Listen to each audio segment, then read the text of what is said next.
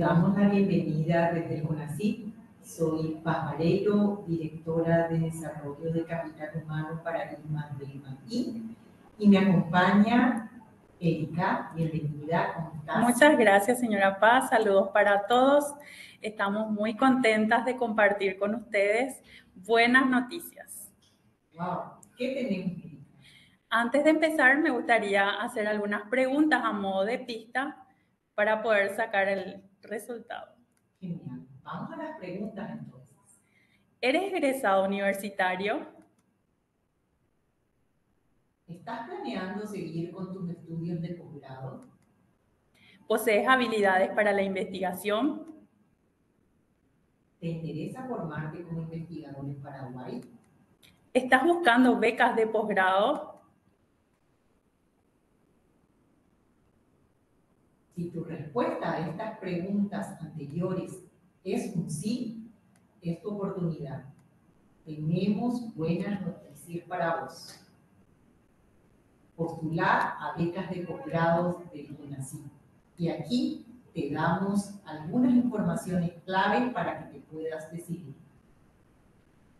CONACYT ha lanzado becas de posgrado para formar investigadores y para que estos estudiantes se dediquen en forma exclusiva a realizar estos posgrados que ha seleccionado CONACYT. En este caso, tenemos dos maestrías. La maestría en Ingeniería Electrónica con énfasis en energías renovables y eficiencia energética, desarrollada por la Universidad del Cono Sur de las Américas, UCSA. También está la maestría en Ciencias de la Computación, que será desarrollada por la Facultad Politécnica de la Universidad Nacional de Asunción. Para cada maestría tenemos 15 cupos, es decir, para cada maestría podrán acceder 15 becarios que serán financiados directamente por el CONACYT para su dedicación exclusiva a estas maestrías. También tenemos cinco doctorados. ¿Cuáles son? El doctorado en Ciencias Biomédicas, desarrolladas por el Instituto de Investigaciones en Ciencias de la Salud de la Universidad Nacional de Asunción. El doctorado en Ingeniería Electrónica con énfasis en electrónica de potencia, que será desarrollado por la Facultad de Ingeniería de la Universidad Nacional de Asunción. Bien, el doctorado en ciencias farmacéuticas, que va a ser desarrollada por la, por la Facultad de Ciencias Químicas de la Universidad Nacional de Asunción, y el doctorado en Ciencias Biomoleculares, desarrolladas también por la misma unidad académica. Por último, tenemos el doctorado de Ciencias de la Computación, que será desarrollado por la Facultad Politécnica de la Universidad Nacional de Asunción.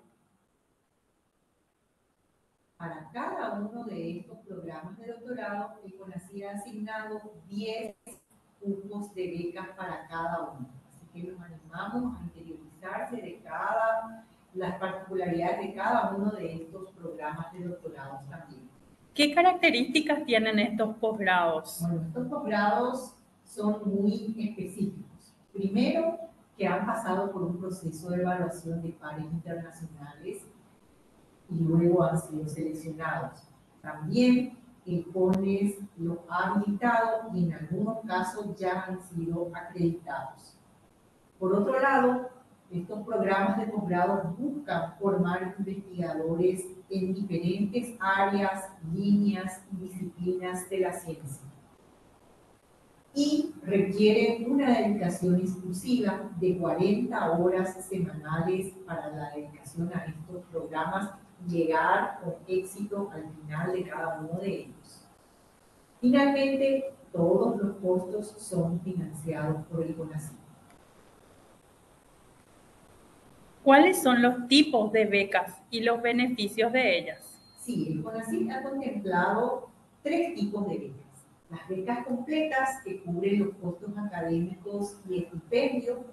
También existen las becas de apoyo que cubren específicamente los estipendios y las becas académicas que cubren los costos académicos. En ese sentido, es importante mencionar que para programas de doctorados hay un tope de 55 millones de guaraníes por cada estudiante y para maestría hasta 20 millones de guaraníes por estudiante. Estas becas son financiadas por el Consejo Nacional de Ciencia y Tecnología en el marco del programa Prociencia con el apoyo del FED. También es muy importante recordar el monto mensual del estipendio que CONACYT ha designado. Para maestría, los estudiantes para su dedicación exclusiva ha asignado un estipendio de 4 millones de guaraníes en forma mensual. Y para el caso de los doctorados, 6 millones de guaraníes. Tenemos algunas condiciones básicas para poder presentar la postulación.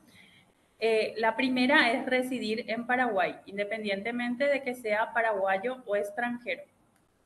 La otra condición es tener interés en la ciencia y la tecnología. Es realmente tener un interés importante en formarse como investigador, fortalecer sus habilidades investigativas. Además, deberán cumplir con todos los requisitos académicos que establece la IES para cada uno de los posgrados. Existen también restricciones que son muy importantes de tenerlas en cuenta. Por ejemplo, eh, no podrán ser admitidos ni adjudicados a becas aquellas personas que ya cuentan con el mismo grado académico al cual quieren postular. Si ya tenés una maestría, deberías postular a un doctorado, no de vuelta a otra maestría. Y así lo mismo con el doctorado. Además, personas que estén aplicando o sean beneficiarias de otras becas no podrán postular. La otra restricción es para aquellos becarios que han renunciado o no han concluido sus programas académicos.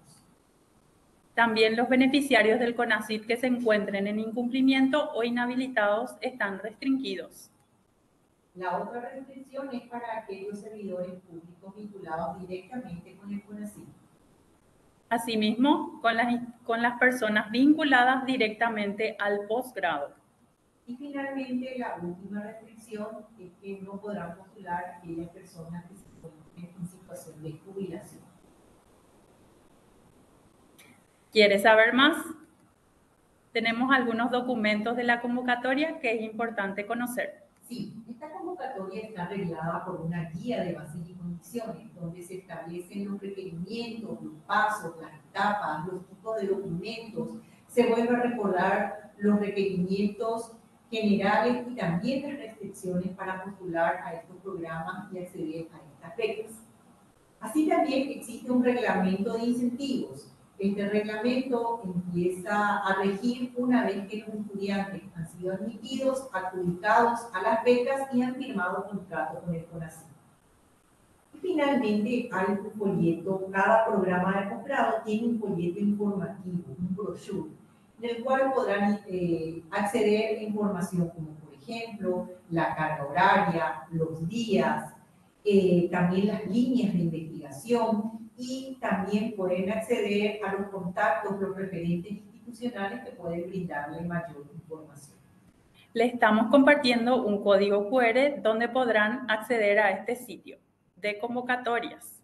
Al ingresar al link podrán verificar que se encuentran diferentes convocatorias y deben ingresar a incentivos para la formación de investigadores en posgrados nacionales 2023.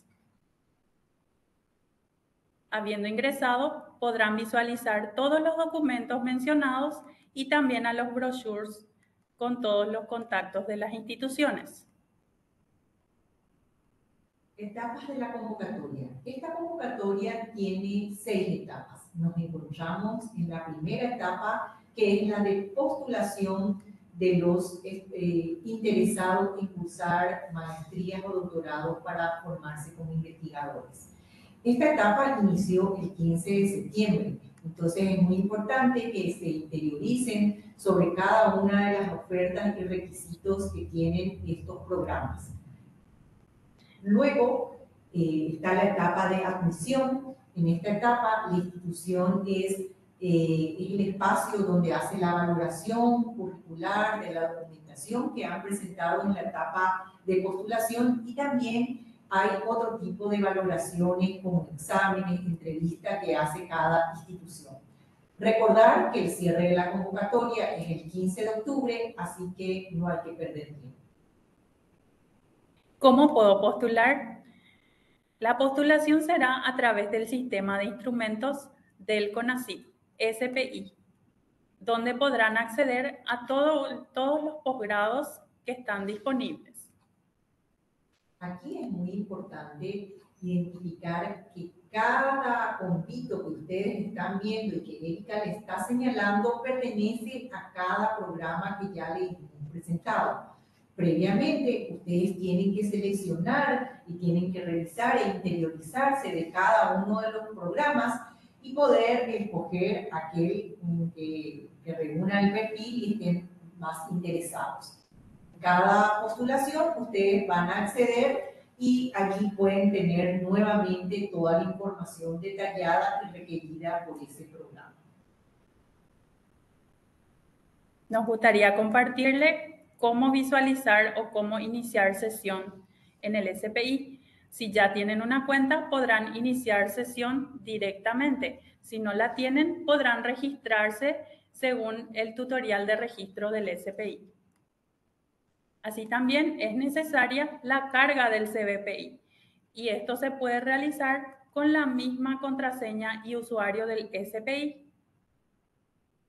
En este sentido, les pedimos que se tomen el tiempo para cargar tanto el SPI como el CBPI, que es el CV formalizado que tiene el CONACYT y que pide a todos los beneficiarios de los diferentes programas y proyectos.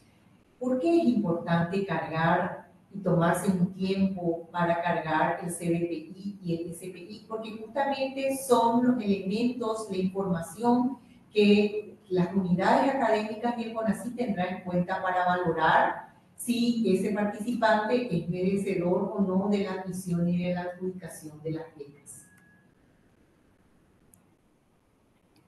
Más detalles sobre el formulario de postulación.